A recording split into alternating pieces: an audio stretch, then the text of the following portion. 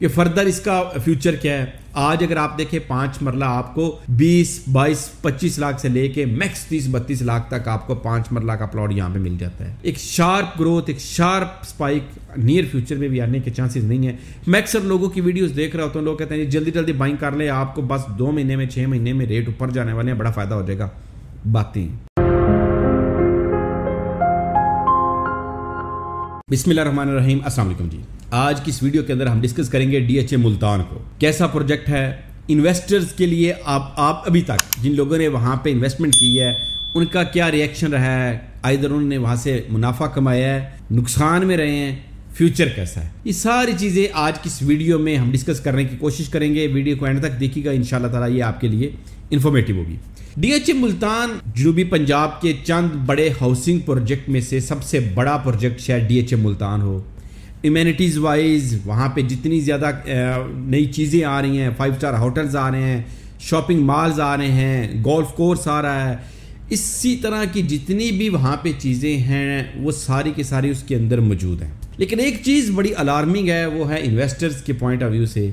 कि जिन्होंने आज से दो साल पहले इन्वेस्टमेंट की थी, वहाँ तब से लेके आज तक जितने लोगों की वहाँ पे इन्वेस्टमेंट है, सारे के सारे इस वक्त नुकसान के अंदर है। कोई भी इन्वेस्टर कोई भी प्लॉट ओनर जब भी किसी प्रोजेक्ट के अंदर इन्वेस्टमेंट करता है, जब भी अपना पैसा रियल स्टेट के अंदर पार्क करता है तो उसके बैक ऑफ़ द माइंड एक ही चीज़ होती है कि आज ये पैसा मैं यहाँ पे इन्वेस्ट कर रहा हूँ। तो साल बाद छः महीने बाद, दो साल बाद, पाँच साल बाद मैं कहाँ पे खड़ा हूँ ये उसकी एक प्लानिंग होती है, तब जाके वो कहीं ना कहीं इन्वेस्टमेंट करता है। लेकिन डीएचए मुल्तान के अंदर पिछले दो साल, यानी 2022 से लेके 2024 तक, जितने लोगों ने इन्वेस्टमेंट किया है, सारे नुकसान के अंदर है। और सबसे ज़्यादा नुकसान वाले शायद 2021 एंड से लेके 2022 के अंदर जिन लोगों ने इन्वेस्टमेंट की थी, ये है। नए व्यूअर्स जो इन्होंने डी डीएचए मुल्तान को पहली दफ़ा सुन रहे हैं, शायद उनके लिए ये सुन के थोड़ी सी परेशानी हो कि ऐसा क्यों है। अच्छा इसकी वजह यह है कि जब last time construction package announce हुआ, जब लास्ट गवर्नमेंट ने इसको अनाउंस किया तो डी डीएचए मुल्तान की प्राइसेस 100 परसेंट नहीं 200 परसेंट तक, यानी एक कनाल के का जो प्लॉट था जो 40-50 लाख का मिलता था, वो सवा करोड़, डेढ़ करोड़ तक चला गया था और लोगों ने उसके अंदर इन्वेस्टमेंट दर इन्वेस्टमेंट करते गए।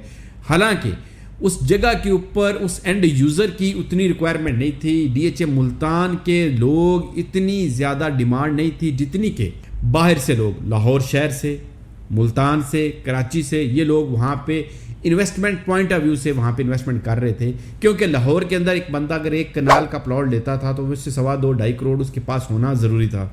इसी तरीके के साथ कराची के डीएचए के अंदर अगर एक बंदा एक कनाल का प्लॉट लेता है तो उसके पास भी करोड़ों की इन्वेस्टमेंट होनी ज़रूरी थी। इसी तरीके के साथ इस्लामाबाद के अंदर एक बंदा प्लॉट कर लेने की का प्लान करता था उस वक्त।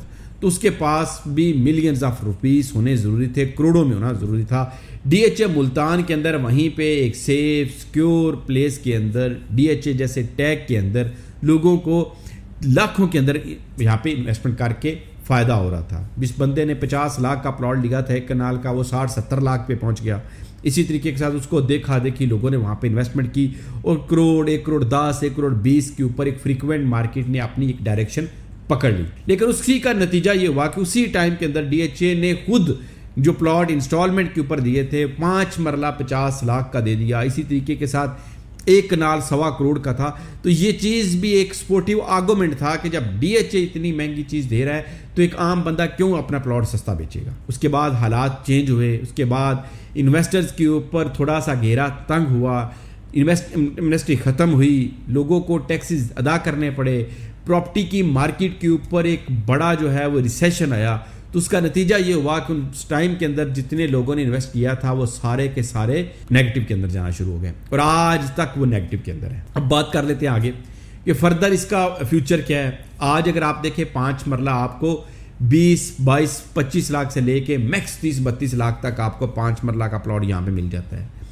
दस मरला का प्लॉट आपको सैंतालीस सड़तालीस लाख से लेके साठ बासठ लाख में मिल जाता है। इसी तरीके के साथ आपको एक कनाल का प्लॉट पचास पचपन लाख से लेके एक करोड़ एक करोड़ दस, पंद्रह लाख तक आपको मिल जाता है। ये है इसकी एक्चुअल इस वक्त वर्थ प्रोजेक्ट अच्छा है। प्रोजेक्ट के ऊपर जितनी तेज़ी के साथ वो काम कर रहे हैं, जिस तरीके के साथ वहाँ पे होटल्स फाइव स्टार होटल्स के साथ उनके जॉइंट वेंचर्स हो रहे हैं, जिस तरीके के साथ श्रीन टावर वगैरह वहाँ पे आ रहे हैं, जिस तरीके के साथ रोमेंजा गोल्फ कोर्स को उन्होंने ऑपरेशनल किया है, जिस तरीके के साथ वहाँ पे एक लाइफ लाने की कोशिश की जा रही है तो अब एक्चुअल ग्रोथ होगी। आहिस्ता आहिस्ता चीज़ें ऊपर जाएँगी। फिर जाके चीज़ों के अंदर थोड़ा सा मुनाफा होगा, फिर जाके लोग इसके अंदर से फ़ायदा कमाएँगे। फ़ायदा वही लोग कमाएँगे जो कि यहाँ पे अपने आप को डेस्परेट सेलिंग नहीं करेंगे, बल्कि आहिस्ता आहिस्ता with the passage of time जैसे जैसे इसकी ग्रोथ होती जाती है तो उसकी तक वेट करते हैं। लेकिन एक शार्प ग्रोथ एक शार्प स्पाइक नियर फ्यूचर में भी आने के चांसेस नहीं है। मैं अक्सर लोगों की वीडियोस देख रहा होता हूँ, लोग कहते हैं जल्दी जल्दी बाइंग कर ले, आपको बस दो महीने में छः महीने में रेट ऊपर जाने वाले हैं, बड़ा फ़ायदा हो जाएगा। बातें। कोई रियलिटी से इसका तल्लक नहीं है। सिर्फ़ इस चीज़ को देख के आप वहाँ पे बाइंग कीजिएगा कि अगर आपकी बाइंग पार अगर आपकी होल्डिंग पावर दो साल, ढाई साल की है, अच्छे रेट के ऊपर चीज़ें भी आपको मिल रही हैं इन्वेस्ट करें। आने वाले टाइम में आप अंदर आपको फ़ायदा होगा। अगर आपने पुराने टाइम के अंदर किया था अगेन आपके पास दो साल की होल्डिंग पावर है, बैठे रहें, शायद आप ब्रेक इवन पे या ब्रेक इवन को क्रॉस कर जाए अगर आप इसको यहीं पे अपने आप को निकाल लेंगे तो ऑब्वियसली आपने जितना भी लॉस है, वो आपने बुक कर लिया है और वो कहीं और से पूरा करना रियल स्टेट के अंदर तो कम अज़ कम मुश्किल होगा। ये एक डी एच ए मुल्तान के हवाले से एक वीडियो थी, जिसके अंदर मैंने एक जनरल कोशिश की आप लोगों तक रियलिटी बताने की कि इतनी प्राइसेस नीचे क्यों हैं, क्यों लोगों ने इसके अंदर से ज़्यादा से ज़्यादा नुकसान किया है, सिर्फ़ एक वजह हाइप के अंदर बाइंग जिस वक्त बाइंग का टाइम होता है, उस वक्त हम सब लोग बिल्कुल खामोश बैठे होते हैं। लेकिन जिस वक्त सेलिंग का टाइम होता है, ज़्यादातर मेजॉरिटी हम लोग उस वक्त बाइंग कर रहे हैं।